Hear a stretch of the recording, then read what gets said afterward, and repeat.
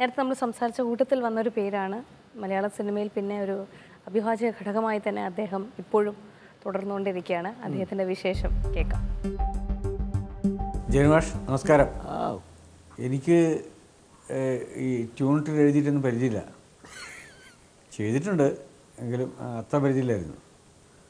മാഷാകുമ്പോൾ മാഷക്ക് അങ്ങനെയല്ലേ പറ്റുള്ളൂ?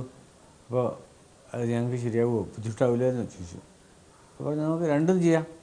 എന്ന് പറയും ഏതായാലും പിന്നെ റെക്കോർഡിങ്ങിന് മുമ്പേ നമ്മൾ ആലപ്പുഴ ഗസ്റ്റ് ഹൗസ് വെച്ചാണ് മാഷെ കാണുന്നത്. നമ്മൾ വളരെ നേരം സംസാരിച്ചു.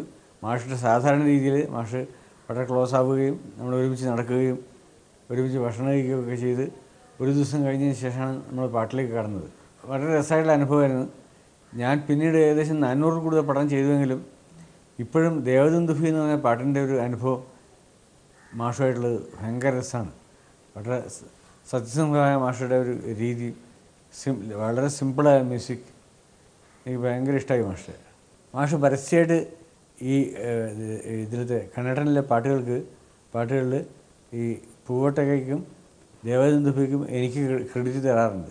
മാഷക്ക് ഞാൻ എന്റെ സാഹിത്യപരമായ സഹായം ചെയ്ത് ചെയ്തിട്ടുണ്ടാവും പക്ഷേ അതിലത്തെ പാട്ടുകൾക്കൊന്നും ട്യൂണിനൊന്നും എനിക്ക് യാതൊരു ക്രെഡിറ്റും വേണ്ട അതൊക്കെ മാഷയുടെ തന്നെയാണ്.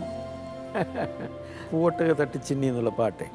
ഇപ്പോൾ ഫാസിൽ ഇങ്ങനെ കഥ പറഞ്ഞപ്പോൾ ഇങ്ങനെ ഫാസിൽ നല്ല മ്യൂസിഷ്യനാണ് തലയിൽ പക്ഷേ സ്വരത്തിൽ കൂടി പാടാൻ പറ്റില്ല ആശാൻ അപ്പോൾ you will say I want a section എന്തൊരു സഫക്കേഷൻ ആണല്ലേ ഇല്ല അല്ല വാട്ട് ഐ എം സേയിങ്. സംഗീതം ഇത്രമാത്രം മനസ്സിലുണ്ടാവുക അത് നമുക്ക് ആർട്ടിക്കുലേറ്റ് ചെയ്യാൻ പറ്റില്ല പറയാൻ. പറ്റില്ല എന്ന് പറയുന്നത് എനിക്ക് എപ്പോഴും തോന്നിയിട്ടുണ്ട് ഇതിലും വിഷമമുള്ള ഒരു കാര്യം വേറെ and he uh, know. I want the first part of the song like this.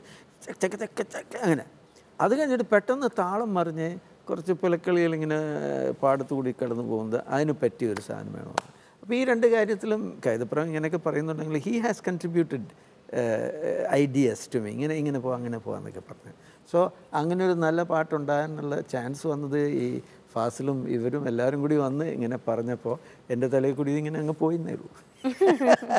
The very first movie song of mine was written written by O O.N.V. V അതെ അദ്ദേഹത്തിനെ കുറിച്ച് നമുക്ക് സംസാരിക്കാം. ആ അതായത് ആയിരത്തി തൊള്ളായിരത്തി എൺപതിന് മുമ്പ് ആയിരത്തി തൊള്ളായിരത്തി എഴുപത്തി എട്ടിൽ ഞാനിവിടെ വന്നപ്പോൾ എന്റെ ഒരു എന്റെ കസിനായ സെബാസ്റ്റ്യൻ പോൾ എന്ന് പറഞ്ഞ M P ex M P Sebastian Paul is my first cousin and friend wanted to make a movie.